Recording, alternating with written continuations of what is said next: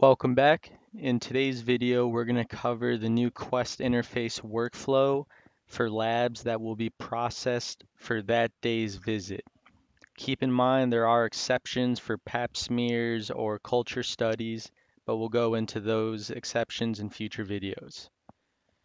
So the first place you're going to start is going to the printer, grabbing the lab requisition slip, and looking up the patient.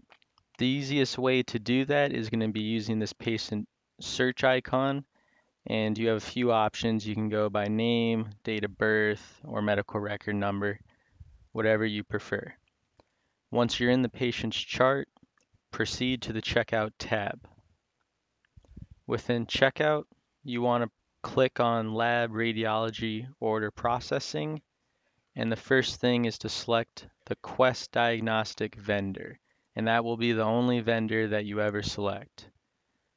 From there, come right down to where the labs are, highlight them, and click the drop down arrow in order to move them down for processing. Once that's complete, click this box here and then click process and submit, then save and close. And once you've completed those steps, you're able to go to the orders module, which will be found down here in the bottom right, or up in your information bar if you've customized your settings. Upon clicking in the order module, go to the orders summary tab, and this is where you'll double click on the order for that day's visit. I recommend going right to the general tab once you enter and the main thing you want to look out for up here is this ordering provider and making sure that it's a specific provider's name and not some generic name. From there, you can look over the insurances and then proceed to select tests. And this is where, once again, you can view your lab studies or assign additional diagnosis or labs here.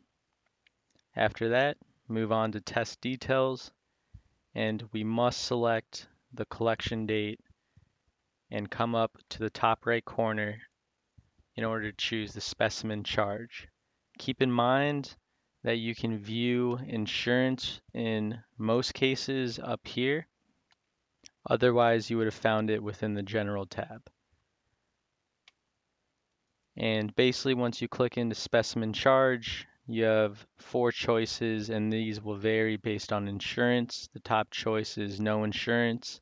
Second choice is the patient has insurance.